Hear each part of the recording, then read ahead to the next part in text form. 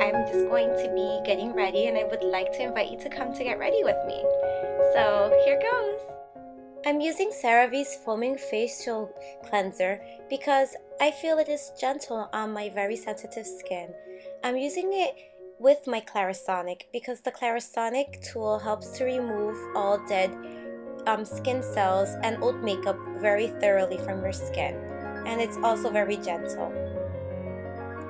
Now I'm patting dry my skin because I feel that it if you rub it then it gets very dry and flaky.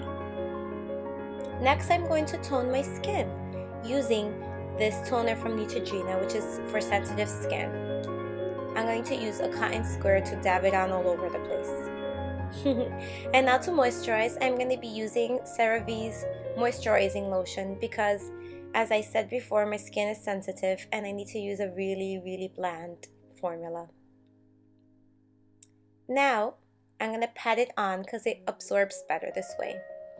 For the scent, I'm using Glam Princess by Vera Wang. I like to apply it right after my shower. And now I'm going to accessorize earrings and my watch.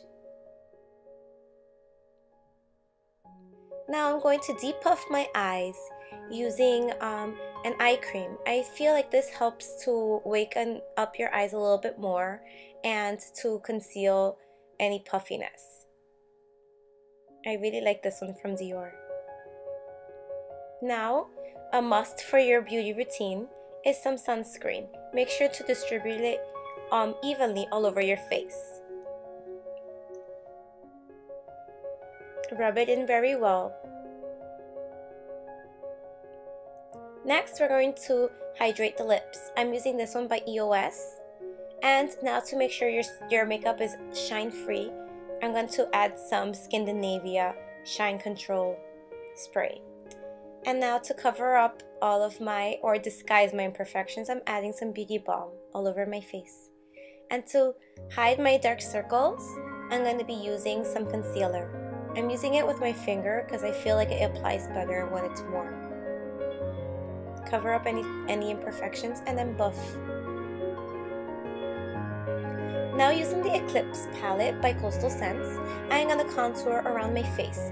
I'm using a darker color for the hollows of my cheeks and around my face, as well as my nose, to give some definition. Now I'm going to be using a lighter color than my skin tone to add some highlights everywhere. I like to use my finger because I feel the application is a lot faster and smoother. Don't forget your forehead too. Now do the same to both sides of your face. Highlights on the apples of your cheeks as well, girls.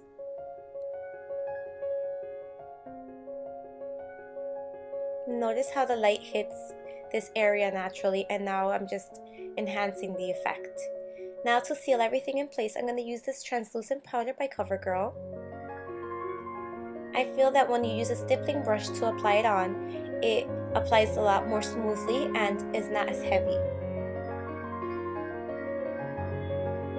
Now I'm going to use this dark um, blush and the blush brush to uh, apply the blush um, along the areas that I have contoured earlier with the darker color.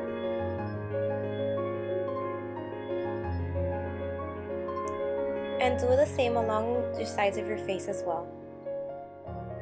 And now I'm using this eyeshadow by um, the Face Shop. It's a light pink and I'm going to use this as my highlight because it complements my blush that I was using prior to this step. Now I'm going to define my eyebrows. I'm going to be using this um, brow pencil by Bobbi Brown and I like it because it's hard and it doesn't deposit color very thickly. And so I'm going to also use this brush spoolie to comb out my eyebrows and fill, it, fill them in. And that distributes the color better. Now I'm going to be using this um, um, pencil corrector to highlight under my eyebrow bone. And now I'm going to be using this primer because I feel that when you use primer, the eyeshadow colors are a lot truer and they stand out much more than if you just use it alone on your lid. Now I'm going to be using Coastal Scents Mirage palette and this the 217 um, blush um, blush brush um, eyeshadow brush from MAC and I'm going to use the lighter color um, towards the tear duct and under the brow bone and now the medium color which is like a, um, a toppy gray and I use on the along the, the other end of my eyes to deepen the effect and I'm going to use this fluffy brush to kind of blend everything together and now I'm going to be using this um, um, blush, this brush that is for your um, contouring um, around your eye. It's a good brush.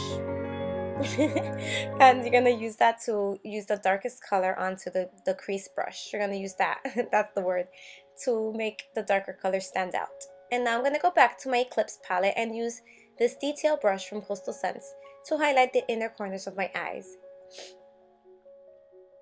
I like how it helps it to stand out a lot more.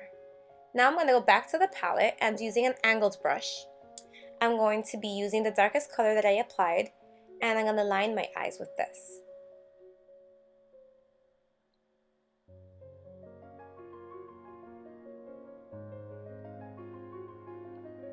And I'm to redefine my um, silver color that I used prior because um, it got a little bit muddy when I was applying the darker colors.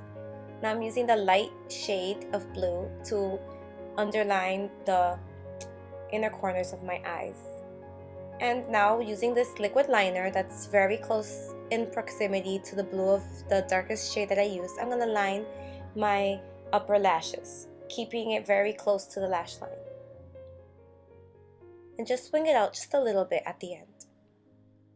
Remember to use short strokes when you're applying your eyeliner because it's easier for you to create a straight line. Now I'm going to be using this cream shadow from Sizone um, to line my waterline. Be very gentle.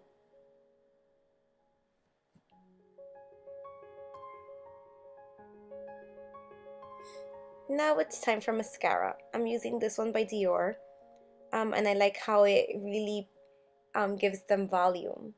To finish off the look, I'm going to be using this nude lipstick from Dior.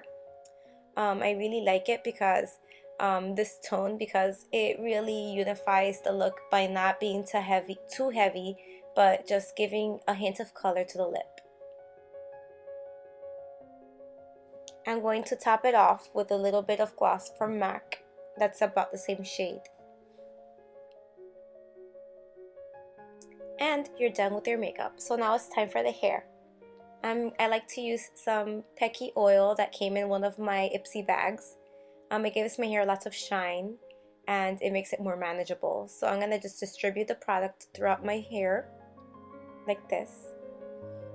And then I'm going to brush it out to make sure that it um, goes all the way through all my strands.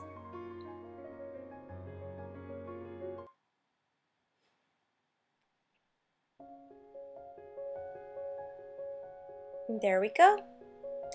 Now it's time to put on the outfit. I'm going to be wearing this polka dot shirt.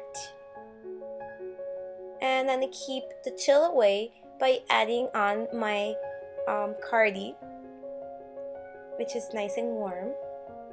And I'm going to finish off the look by using this scarf that I made myself and gray pants. Don't forget some boots guys. Hope you enjoyed getting ready with me and so I hope that you guys um, get ready with me again another time. I hope that you learned any, some useful tips and anything that might help you get ready for your stay as well. So kisses mwah, a hug and until next time don't forget to to hit like and to subscribe to my my Facebook my Twitter um, also my Instagram and my and then also subscribe to my channel. Bye! And also to subscribe to my blog. Kisses!